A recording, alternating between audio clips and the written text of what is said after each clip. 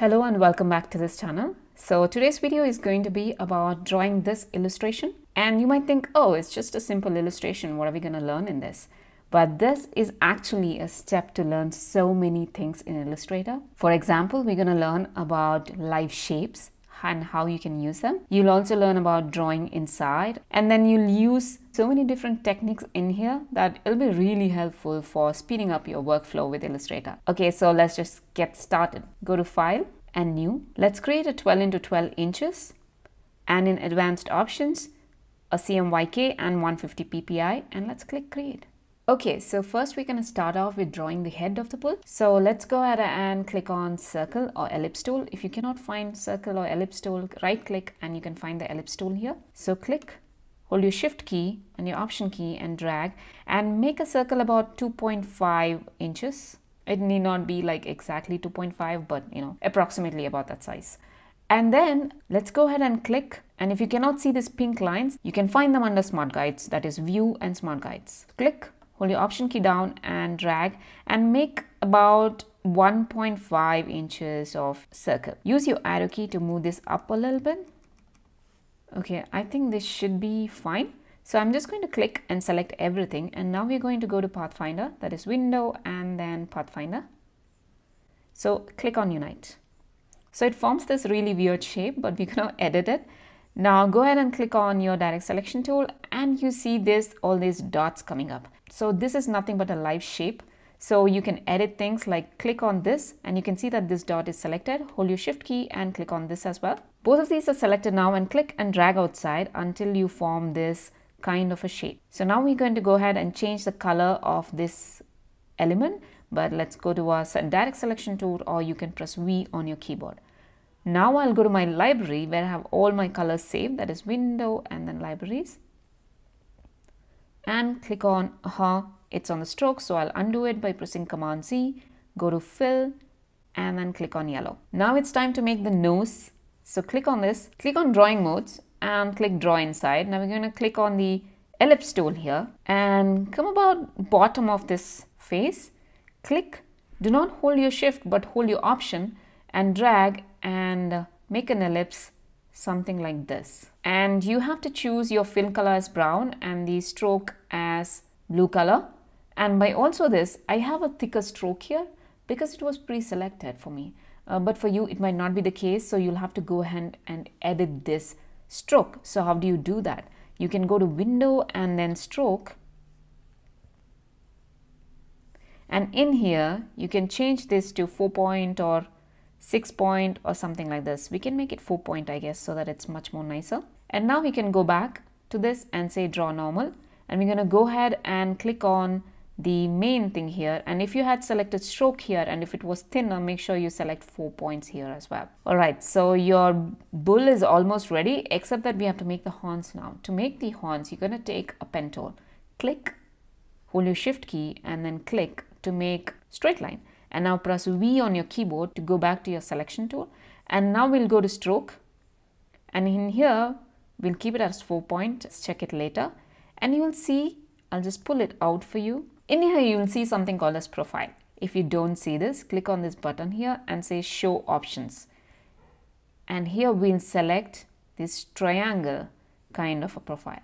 And we'll increase the size to maybe about 40 probably this looks okay and I'm just going to increase the size by pulling this a little bit down. Let's go ahead and put it back here because we don't need it now. I'm just going to go back to my pen tool and I'll click here so that this gets reversed. Right click and anchor point tool. And now we want the horn shape to be something like this.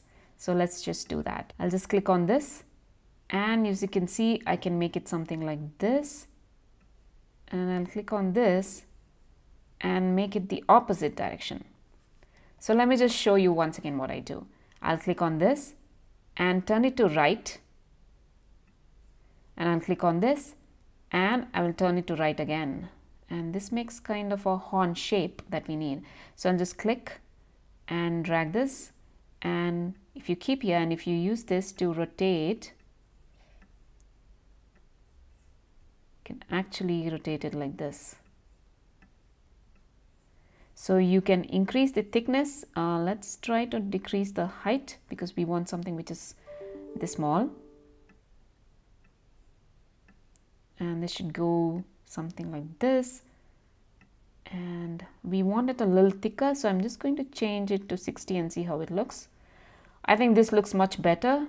This looks fine. And I'm going to go to fill and cancel this because we don't want fill. Now right click transform reflect now we're going to give vertical and then click on copy. And this is going to make another copy. Now click hold your shift key and drag it so that it goes and sits like you know absolutely opposite of each other. Let me move this a little bit. Now if you want to make sure that everything is centered what you can do is you can click the horns together.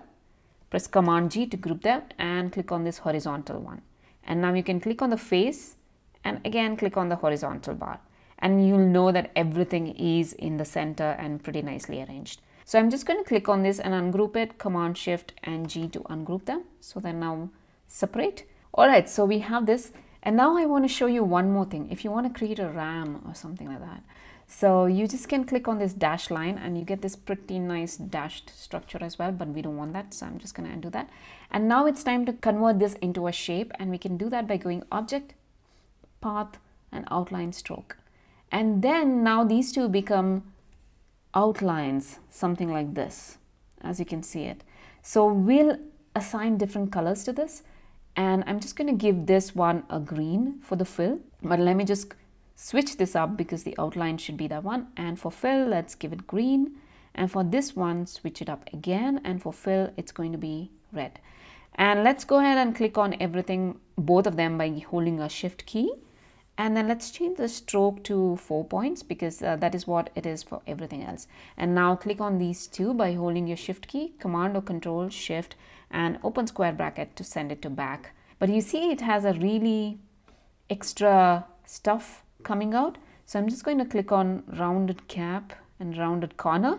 And uh, so that it takes out the extra stuff you can see here and then it becomes much nicer. Alright, now it's time to make the eyes which is very simple. That is click on your pen tool, click, hold your shift key and click and it forms a line segment. Press V on your keyboard to go outside and it's too thin. I'm just going to go down and make sure it has a sharp end because that's how we wanted it. And we're going to make it a bit thicker because I don't like it how thin it is and probably a little lower as well. Hold your show option or alt, click, hold your shift and drag and make a copy. And let's group these two together by pressing Command G and make sure it's in the center of the face. And I think I want it much lower, somewhere here. Yeah, this should be fine. And next up is the nose. It's nothing but click on your ellipse tool and drag and make a nose. And let's put this stroke as no and for fill, let's give it black, I guess. And next up is the text that we have written. So for text, it's pretty simple, but as you can see, I've written it in a round format, matching this circle. So what we're going to do now is go ahead and click on circle and go to somewhere center of the circle, click, hold your option key, shift and drag and make a circle a little bigger than the original circle. Now we'll switch this up so that it's stroke and we don't really care about how big the stroke line is. We, we'll know that. Now when you do this you'll see this special handle right here. And if you move this you can actually move this like this. So I'm going to move it so that only this path is visible. Rest of the circle just disappears. So I'm just going to click on my selection tool. And now here I'll go back to my direct selection tool click on this point here and click delete so that we have just this path. And now right click, type on path tool, we're going to click here so that it sits on the path and we are going to give any text that you want to give. Now double click to select everything and we're going to choose a font. The font that I've chosen is Coronete and we're going to choose a different size 50 60 should be good no 58 yeah 58 should be good. And now we can see that it sits here. So let's just try to move this. You can always move this around like this. So let's move this. You see the handle right here? I'm just using that to move it so that it sits somewhere in the center. And you can click outside and your text is on the center. So i'm just going to move not that but this handle right here so that it's a little I know I'm not too particularly happy about it. So our text is ready. And we also used one more small icon. That is again the same thing. Click hold your option shift and drag and make sure it's almost towards the center of that. Let's change this and give this yellow color. And obviously we're going to increase the stroke to four points or a little bit more because I like a thicker font and then let's change this up to something like this. And then go to your direct selection tool and click on this and delete so that it gets deleted. And go to your stroke and let's put round in the corners. And this one we'll press command shift and open square bracket send it to back. So this one I've given the color that is blue. So I'm just going to go ahead and uh, copy the color and I'll just click on the text and double click and paste the color here and click OK. So this one I think I want to make it a little bigger 63 is fine as well. Okay, and let's drag this a little bit so that it's somewhat in the center. Okay, and this one I'm going to change it to maybe 7 points or probably even 8. Let's make it thicker so that it looks much nicer.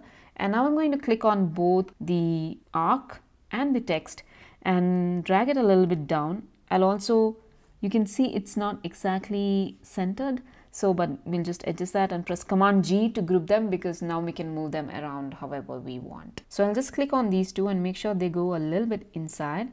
Count the number of steps so that you have them equally spaced around. And you see one more thing that I made uh, extra arc over here. So you just have to go here click on the horn that you want to make this design on. Let's go ahead and click on draw inside. And here make sure you remove the fill and the color is given to the blue color. Click on this, click, click and drag to make an arc kind of a thing. And now we'll increase the stroke to maybe 12 or 14 or something like this. And uh, press V on your keyboard to get out of the pen tool and click here and go to draw normal. And then you have your uh, stuff ready. And now it's time to add the background. So I'm just going to go ahead and go to my rectangle tool, click and make sure it's center. You can see the pink lines here, which helps me that this is the center and obviously I don't want fill so I'm going to I mean stroke so I'm going to cancel this and for fill I'll give it my color that I've chosen this side is going to be red now click hold your option key down click shift key down and drag so that it makes a copy and snaps right here and this one we're to give green and now click hold your shift key and click and command or control shift and open square bracket to send it to back but I think I'm given a different color for this. Yeah, here I've chosen a different color. So I'm just to go ahead and make this horn this color and as well as this background as this color as well. We're just going to make sure that we increase the size of this.